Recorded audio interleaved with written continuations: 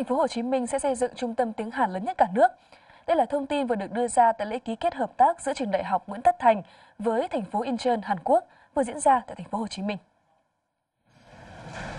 Theo đó, đây không chỉ là nơi đào tạo ngôn ngữ mà trung tâm tiếng Hàn tại thành phố Hồ Chí Minh sẽ là nơi diễn ra các hoạt động giao lưu văn hóa, gắn kết hai thành phố Hồ Chí Minh với thành phố Incheon nói riêng và Việt Nam Hàn Quốc nói chung. Đây được xem sẽ là trung tâm tiếng Hàn quy mô nhất cả nước.